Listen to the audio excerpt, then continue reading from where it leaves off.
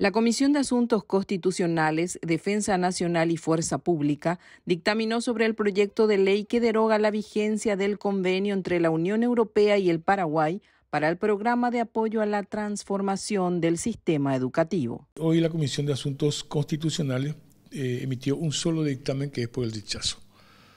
Eh, por lo tanto, hay una mayoría, hay dos dos votos que no votaban ni a favor ni en contra, pero el resto, la mayoría, votaron entonces por el rechazo de la versión de la Cámara de Diputados, para que se entienda mejor, por el rechazo al proyecto de derogación del convenio.